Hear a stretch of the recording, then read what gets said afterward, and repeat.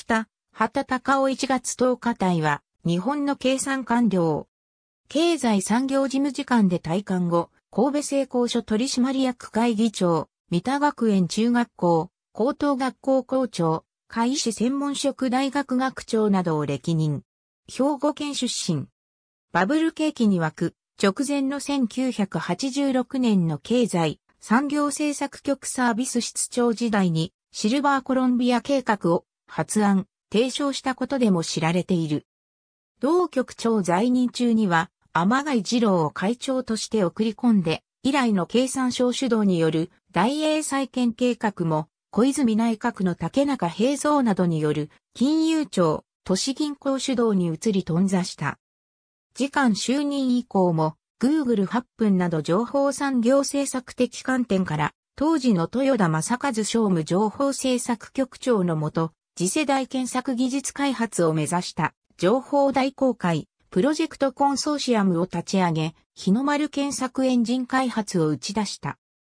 時間在任中の2008年1月24日、経済産業調査会主催講演会にて、デートレーダーについて、最も堕落した株主の典型。バカで、浮気で無責任だから、議決権を与える必要はないなどと講演会で発言し、問題となった。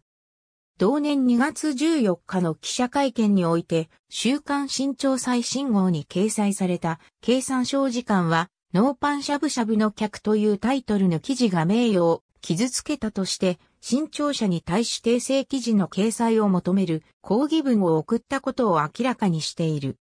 同年6月には、原油価格高騰について、3週間前の会見では、割り切れないと言ったが、今や怒りに近いものを感じると発言した。さらにモルガン・スタンレーとゴールドマン・サックスの行動について投資して有利な情報を流していると発言した。